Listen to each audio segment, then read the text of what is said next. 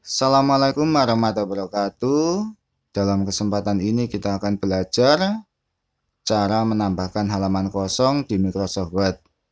Yang pertama, kita tambahkan halaman kosong pada halaman pertama.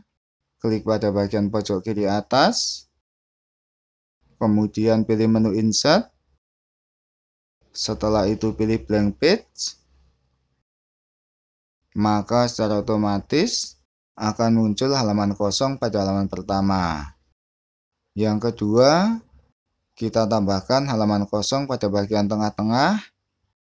Misalnya pada halaman ketiga, klik pada bagian pojok kiri atas, kemudian pilih menu Insert, setelah itu pilih Blank Page, maka secara otomatis akan muncul halaman kosong pada halaman ketiga. Demikianlah tutorial kali ini. Saya akhiri. Wassalamualaikum warahmatullahi wabarakatuh.